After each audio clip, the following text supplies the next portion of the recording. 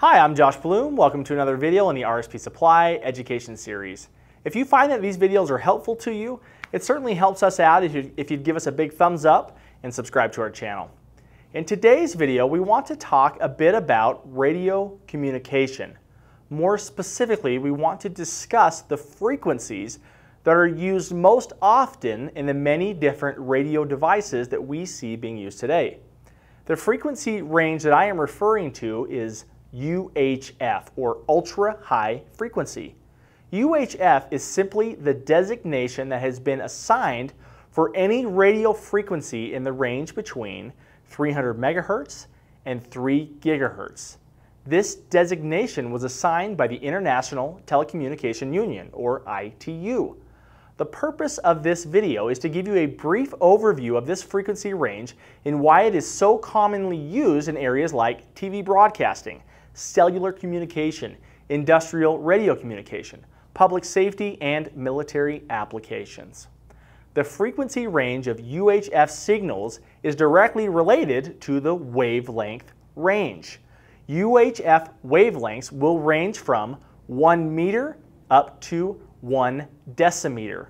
Also, the size of the antennas that are used for this frequency range are dictated by the size of the wavelength. So it is common to see most UHF antennas that are smaller in size, which is one of the reasons that this frequency is so commonly used. Depending on the frequency that is being used, it is possible to see the behavior of the specific wavelengths vary from other frequencies in the UHF spectrum. For instance, on the low end of the UHF spectrum, the wavelengths are much further apart, and they will propagate much differently as opposed to waves on the high end of the spectrum. In most cases, wavelengths in this spectrum propagate by line of sight. However, some ground reflection is possible on the lower frequencies.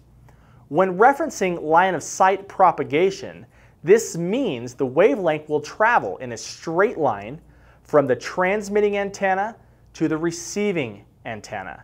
This type of transmission is used in medium range radio transmission signals such as cell phones, walkie-talkies, wireless networks, FM radio stations, TV broadcasting, etc.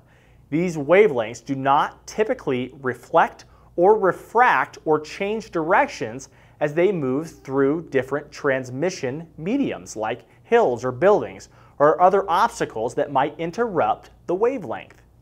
With that being said, wavelengths on the lower end of the spectrum have a much higher likelihood of being reflected or refracted than wavelengths on the higher end of the spectrum. So a good rule of thumb is this. The higher the frequency, the more important line of sight will become in successfully transmitting and receiving radio communications. One note, in most cases, UHF radio waves are strong enough to transmit through building walls for indoor reception. In most cases, UHF radio transmission is limited to about 30 or 40 miles and often shorter distances depending on local terrain.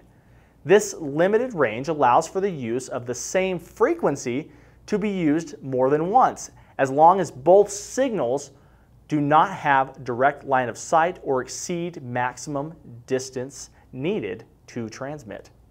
It is important to note the FCC or Federal Communications Commission has allocated that different ranges within the UHF spectrum will be used for certain purposes. For example, many commercial and industrial radios operate around the 900 megahertz frequency. Lower frequencies like 300 megahertz to 450 megahertz are largely used by government and local municipalities. So when communicating in the UHF spectrum, it is important to know what ranges within the spectrum can be used. In future videos, we will talk more about the industrial radios that are used in different SCADA applications by cities and other clients that need radio communication that operate within this spectrum. For a full line of industrial radio hardware and thousands of other products, please go to our website. For more information or other educational videos, go to rspsupply.com, the internet's top source for industrial hardware. Also, don't forget, like and subscribe.